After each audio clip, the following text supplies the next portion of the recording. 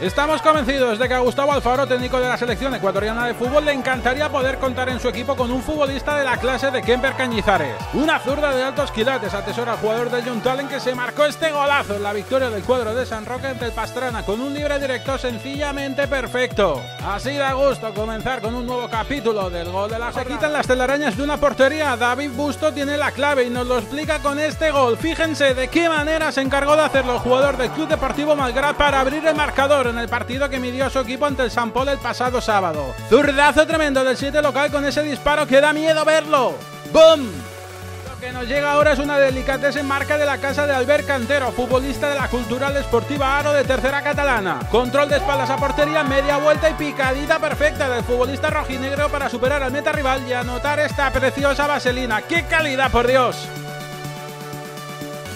Balón parado suele ser sinónimo muchas veces a golazo de falta. Lo de Héctor Fernández, jugador de San Esteban de Ser Rubira, roza la perfección. Fíjense dónde la pone, qué barbaridad, la mismísima escuadra para sentenciar el partido que enfrentó a su equipo contra el filial del Rubí. Dedicatoria con amor en un gol para enamorarse de ti, de tu zurda mágica, Héctor que nos llega ahora lleva la firma de Antonio Buñales, jugador de la Unión Deportiva Rebrot. El nuevo local anotó tres goles en la victoria de su equipo frente a la Yacuna.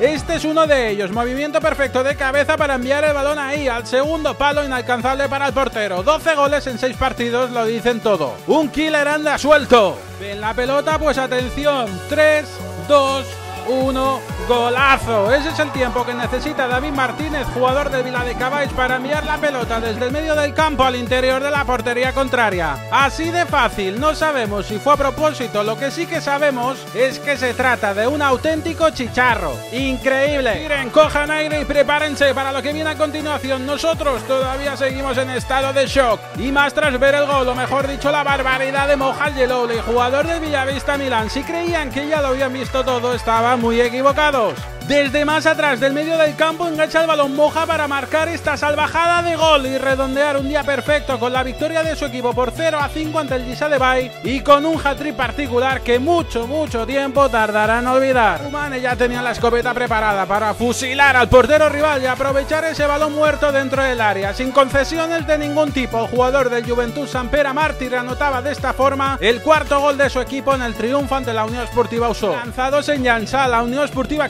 Continúa arrasando en el torneo alternativo de segunda catalana y no tan solo lo hace goleando a sus rivales, sino que también lo hace marcando golazos inverosímiles como este, el que anota Hitor Pajares con un derechazo espectacular imposible para el portero. Creme de la creme, señores, qué auténtica locura amigo. Eso le diría Maiki Gainza a su defensor a la hora de dejarlo atrás con este recorte espectacular. Lo que viene después es una auténtica obra de arte. Golpeo al palo largo para clavar este golazo. Hat-trick del futbolista del Ripoll en la victoria de su equipo por 5 a 1 ante la Fundación Esportiva Palamos B. El ascenso a tercera catalana es posible y más si cuentas en tu plantilla con un futbolista de esta categoría.